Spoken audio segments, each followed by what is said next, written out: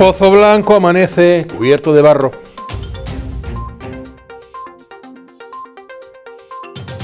Las vigésima octava jornadas técnicas de COBA abordarán los retos de la alimentación del futuro. Instan a la Mesa del Agua de los Peroches a reunirse para abordar la sequía en la comarca. Antonio Rida, Cofrade de Honor 2022.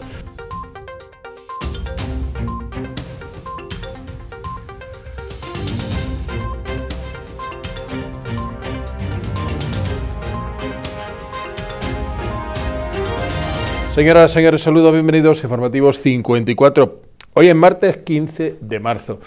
Lo habíamos dicho ayer, pero lo cierto es que no estábamos preparados para lo que nos hemos encontrado esta mañana. Lo primero nos sorprendía la luz amarillenta, el cielo totalmente ocre. Y no, era solo nublado.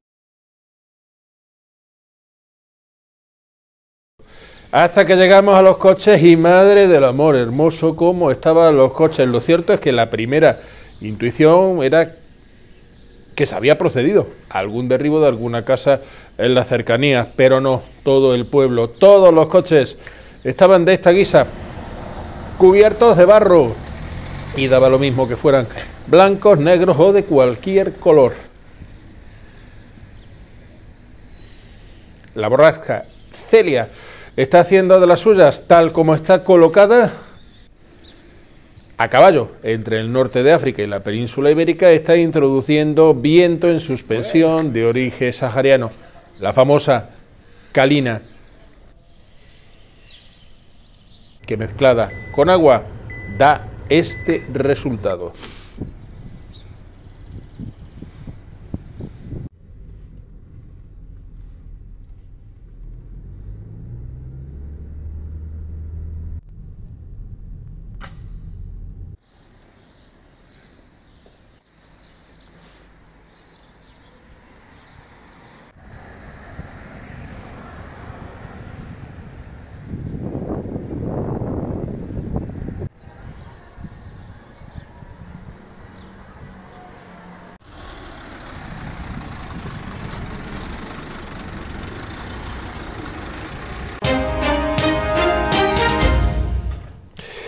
La octava jornada técnicas de COBAS se celebrarán el próximo 24 de marzo en el auditorio del recinto ferial de Pozo Blanco con el título La alimentación del futuro. El objetivo de este año es acometer un amplio abanico de temáticas relacionadas con la salud, la gastronomía, las oportunidades, la innovación y los desafíos vinculados a la industria agroalimentaria. Tras la inauguración, que correrá a cargo del presidente de COBA, Ricardo Delgado Vizcaíno, el alcalde de Pozo Blanco, Santiago Cabello Muñoz, y el secretario general de Agricultura de la Junta de Andalucía, Vicente Pérez García de Prado, tendrá lugar la conferencia Alimentación orientada a la salud, la mejor estrategia alimentaria del futuro, por el catedrático de Nutrición Deportiva y especialista en endocrinología y nutrición, Antonio Escribano Zafra, considerado uno de los mayores expertos de la materia a nivel mundial. Antonio Escribano será representado por la coordinadora de comunicación corporativa de COP, Raquel Santos. El director general del Basque Culinary Center, José Mari Aisega Zubillaga, desarrollará la ponencia El futuro desde la visión integral de la gastronomía. Presentada por la coordinadora de marketing de Cobas, Concha Moyano, se centrará en la importancia de la gastronomía como referente de la industria agroalimentaria. Tras esta intervención tendrá lugar la mesa redonda titulada Oportunidades y retos de alimentación, en la que participarán el CEO de Circular Foods, Santiago Aliaga Aliaga, el CEO de Campofrío España, Javier Doña Gil, y el director general de Arla Foods SA España, Ignacio Cuadrado Marque. La mesa redonda estará moderada por el director de Desarrollo de Negocio de COVAP, Emilio de León. La última de las ponencias será la de Daniel Ramón Vidal, ADM Distinguished Resident Fellow Microbiome, con el título La innovación en la industria agroalimentaria. Daniel Ramón será presentado por el director de innovación de COVAP, José Antonio Risque, y planteará los principales retos y recursos del sector primario y de su industria asociada.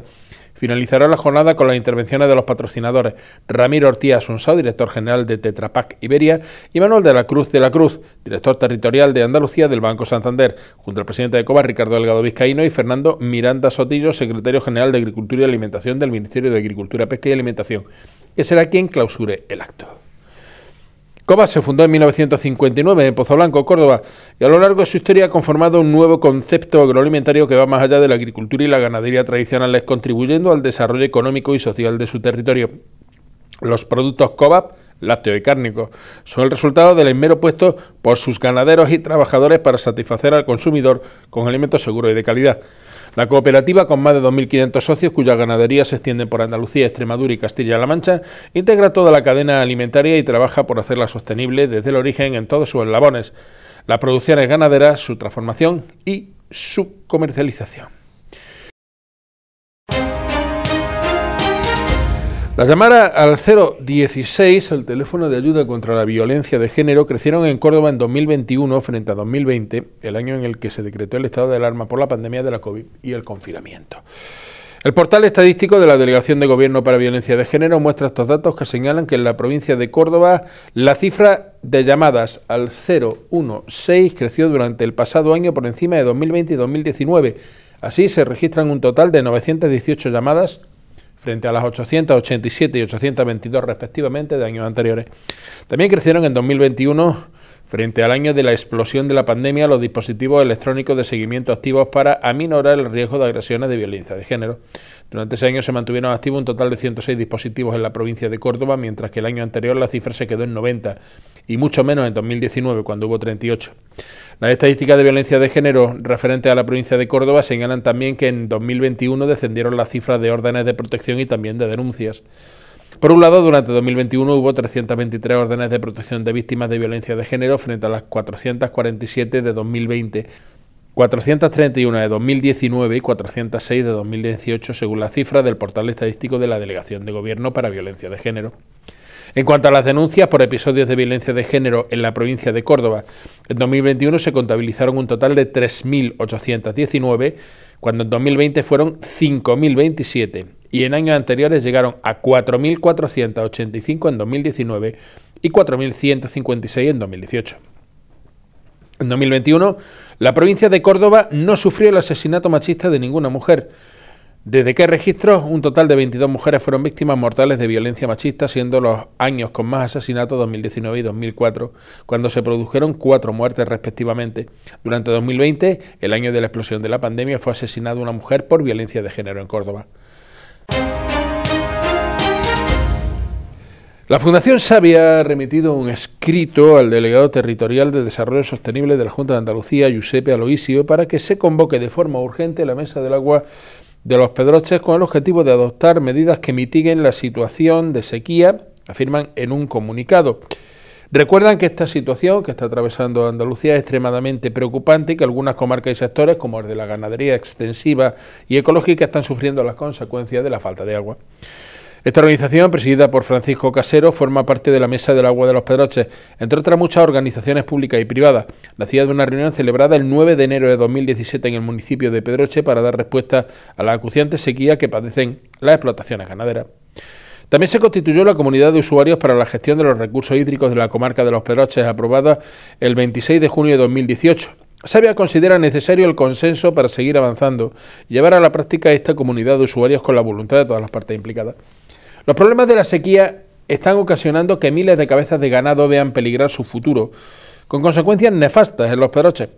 La comarca está atravesando uno de los periodos más secos desde que hay registro. A ello hay que sumarle las propias consecuencias de la pandemia de la COVID-19 y la guerra de Ucrania, dicen. Por eso la Fundación Sabia pide medidas concretas para paliar la situación. La ganadería extensiva sufre la escasez de agua, necesitando en determinadas explotaciones de ovino, vacuno de carne, cerdo ibérico, etc., el suministro con cisternas, lo que conlleva un aumento de los costes, deficiente manejo de los rebaños y el abandono de explotaciones hasta la situación vivida. Añaden a su vez que esto agrava la situación de despoblamiento que viene padeciendo el territorio. Sabia considera insuficiente las medidas adoptadas hasta el momento, por lo que propone a consideración de la Mesa del Agua de los Pedroches que se inste al Consejo de Gobierno a aprobar medidas urgentes consensuadas con el sector ganadero, que se rehabiliten 47 pozos para el abastecimiento ganadero, que se aproveche el embalse de la colada como solución más permanente y se finalice la obra de conexión del mismo con Sierra Bollera y que se reúnan todos los actores implicados que forman parte de la mesa del agua de los Pedroches para abordar la situación. El cambio climático está haciendo mella en comarcas como la de los Pedroches, con un clima cada vez más seco y extremo, que pone en peligro la ciclicidad de las cosechas y la gestión de las explotaciones ganaderas, dificultando su futuro. Sabia pide a las autoridades un plan de rescate y acciones inmediatas para paliar los graves efectos producidos en el campo por la falta de lluvia e insta a la Junta de Andalucía a cometer soluciones urgentes para la ganadería de los pedroches, que requieren una intervención inmediata por parte de la Administración para evitar el abandono de la actividad. Sabia finaliza diciendo que quiere mantenerse al margen de consideraciones políticas y aboga por la solución de los problemas de manera consensuada, por lo que propone celebrar la reunión de la Mesa del Agua a la mayor brevedad posible en la mancomunidad de los Pedroches. Cuando se presentaron los actos de la cuaresma Pozo Albense, eh, se habló del pregonero, se habló de los autores de los carteles, certamen de bandas, etcétera, etcétera, se inquirió a la permanente si iba a haber o no cofrade de honor este año. Y nos dijeron que, que en ello estaban. Pues bien, el 10 de marzo se reunió la Asamblea General de la Agrupación de Cofradía y Hermandad de Semana Santa con carácter extraordinario para tratar, entre otros puntos del orden del día, la propuesta y elección de cofrade de honor a la Semana Santa de 2022. Se acordó designar como cofrade de honor al sacerdote salisano don Antonio Ride Romero. Don Antonio Ride nació en Fernán Núñez el 4 de septiembre de 1937. Entra a formar parte de la congregación salesiana de Don Bosco en el año 1954, ordenándose sacerdote de año después en San Lucas la Mayor, concretamente el 6 de mayo de 1964. Desde entonces ha pasado por numerosas casas y obras salesianas, en las que ha dejado una profunda huella y donde guardan un grato recuerdo de él. En la Casa Salesiana de Pozo Blanco ha estado durante tres periodos. Su primera presencia en 1974 Después, en 1982 y desde 2005 permanece en nuestra localidad. Entre 2005 y 2016 fue además vicario parroquial en la parroquia de Santa Catalina de Alejandría. Don Antonio Rida, de sobra conocido en nuestro pueblo, ha desempeñado y desempeña una gran labor pastoral con una dedicación plena a jóvenes, personas necesitadas, enfermos, atento a las necesidades de quien lo rodea, ha puesto en marcha y ha sido el promotor y el motor de numerosas iniciativas de carácter solidario, cultural, evangelizador, como buen salesiano se le puede ver en la puerta del colegio recibiendo y saludando a los niños y niñas, paseando por los patios en las tardes y noches del oratorio. Actualmente es conciliario de la Cofradía Salesiana del Santísimo Cristo del Perdón Nuestra Señora de la Amargura y San Juan Bosco, de la Asociación de Antiguos Alumnos y Alumnas de Don Bosco y de la Asociación de Viudas Nueva Esperanza. También ha sido conciliario de la Cofradía Salesiana de la entrada de Jesús en Jerusalén la Borriquita y durante su periodo como vicario parroquial lo fue de varias de las cofradías y hermandades pertenecientes a la parroquia de Santa Catalina, así como de la agrupación de cofradías. Siempre ha estado y está dispuesta a colaborar con aquella cofradía de la localidad que se lo ha solicitado, acompañándola en su estación de penitencia, predicando en su acto y culto y a través de sus escritos.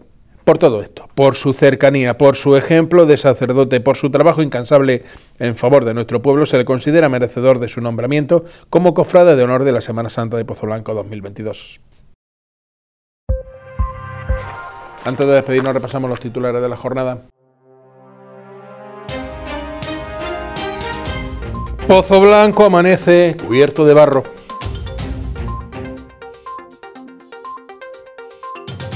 Las vigésima octava jornadas técnicas de COBA abordarán los retos de la alimentación del futuro. Instan a la Mesa del Agua de los Peroches a reunirse para abordar la sequía en la comarca. Antonio Rida, Cofrade de Honor 2022.